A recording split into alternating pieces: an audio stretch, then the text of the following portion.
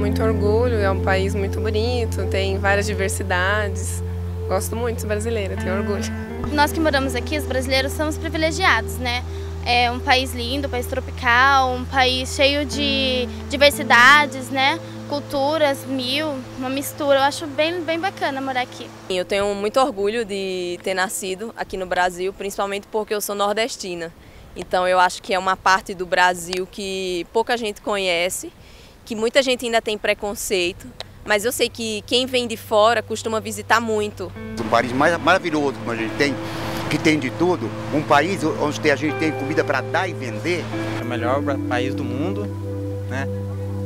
Só que por um lado assim de, de, de política eu podia melhorar bastante, viu?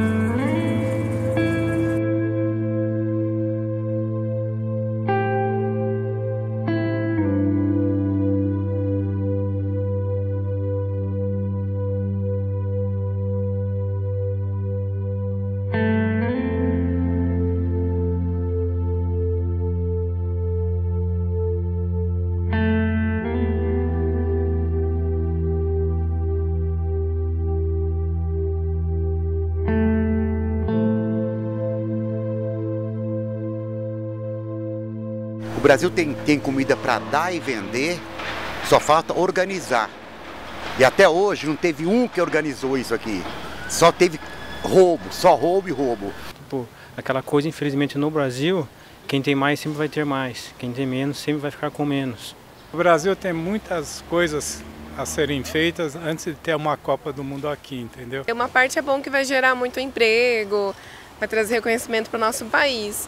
Porém, em outras, muito dinheiro que é tirado de coisas necessárias foram diretamente para a Copa. A gente sempre fica feliz de ter um evento desse aqui, mas é, não é só Copa, né?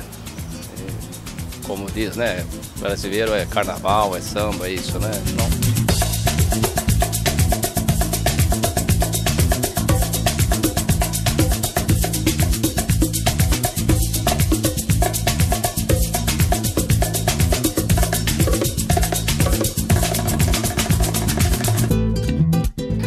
brasileiro é mais trabalho, né? Precisa de trabalho, né? Precisa de educação, precisa de tudo mais além de antes da, da, da, da folia, né?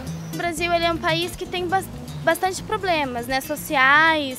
E ele, antes de conseguir resolver esses, antes de partir para a Copa, tinha que conseguir resolver esses problemas ou então pelo menos dar iniciativa, né? Todo mundo no Brasil fala disso, né? A saúde, porque estão investindo muito na Copa, tudo bem, tem que ter mesmo. Mas também tem que dar prioridade à saúde, à educação, muita coisa que está a desejar, né?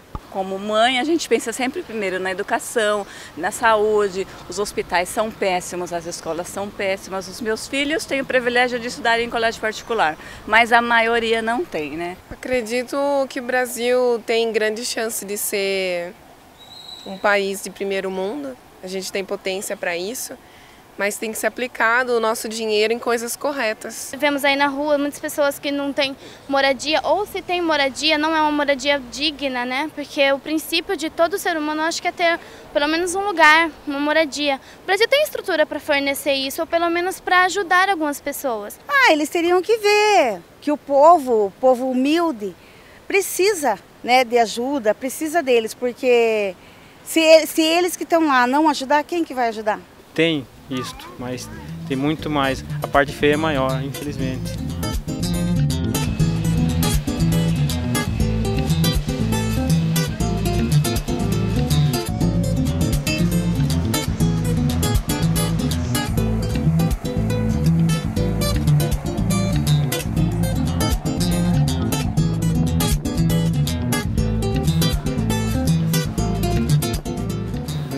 Vai cancelar a Copa do Mundo? porque quem está no comando que sabe das coisas, né? Quem vem de baixo, não sei, né? Não adianta tanto protesto, não adianta tanta rebelião, não adianta nada se, não, se ninguém toma uma atitude, né? Para fazer as coisas fluir, né? Já foi gasto. Eu acho que o que tem que fazer agora é o Brasil tipo, parar com essas prioridades bobas que são as festas e se preocupar com as coisas mais interessantes, que é saúde, educação, é, moradia, cidadania, enfim. Essa Copa ela não veio para o brasileiro assistir, né? É, o, a situação do brasileiro não é não está o nível de, do, dos ingressos que eles estão cobrando aí, né? Até gostaria, até tentei comprar ingresso, não consegui, mas tem outro lado, eu tenho medo da desorganização. Eu acredito que falta muita coisa para se resolver ainda, principalmente questões de, de infraestrutura mesmo. É, como chegar nos locais, porque vai receber uma demanda muito grande de gente, né? Então, o Brasil não está preparado não. E eu acho que o Brasil não tem estrutura nenhuma para receber um evento desse porte e confesso que eu estou com um pouco de medo do que vai acontecer durante esse período.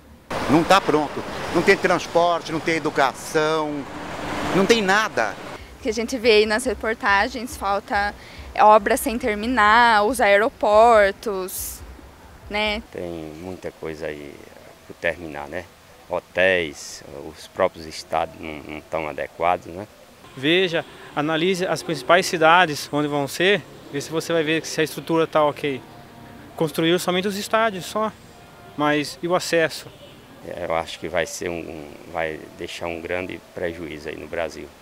Acho que eu nem preciso falar muito, todo mundo vê os, os bilhões que estão sendo gastos indevidamente. Tipo... Ah, os investimentos não, não, não vão ser cobertos com essa Copa, né? Vai acontecer a mesma coisa que aconteceu na África, né? Porque mudou muito o país. Já teve uma Copa aqui em 1950, no Maracanã, mas o, o povo era educado, tinha outra cultura, não tinha briga, não tinha assalto. Fizeram o Maracanã em seis meses. Vai dar tempo, mas vai ser aquela coisa meio às coxas. Não vai ser terminado certinho, no que foi previsto. Vai faltar bastante coisa sim. Mas como todo brasileiro é, a gente sempre vai dar um jeito para resolver tudo isso. A gente fica meio assustado, né? Porque pelos comentários da TV, jornal, né? As coisas assim. Mas eu acho que tá assim.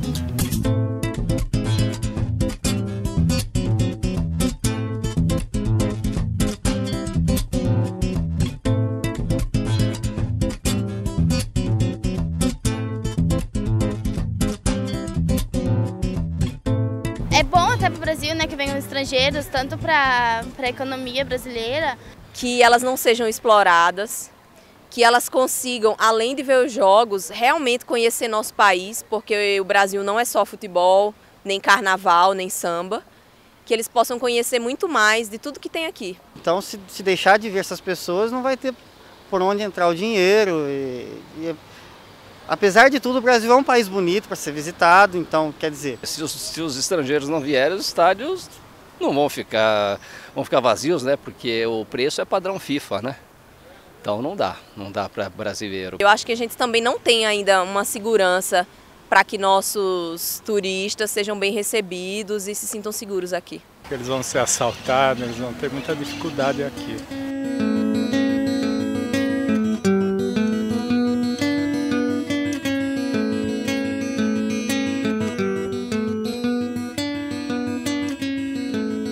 Brasil, apesar de ser mal administrado, não é um país ruim.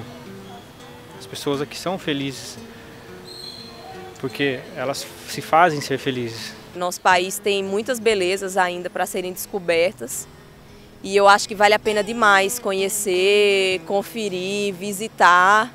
Fica frio que vocês vão gostar, vão gostar. O Brasil é um país legal, as, as pessoas são muito acolhedoras aqui, é, vai ser bacana. Eu diria venham sim, mas olhem o país que vocês vão estar que vocês vão estar vindo, que vocês vão estar vendo, conheçam o Brasil, conheçam a realidade do Brasil aqui dentro, não só o que você vê nos jornais. Um país lindo e maravilhoso, são privilegiados de estarem aqui. Olha, aproveitem o país, apesar de tudo é lindo, né? É um povo hospitaleiro, né? Olha, venham, venham com, com espírito de, de de alegria, de divertimento e tome muito cuidado com tudo.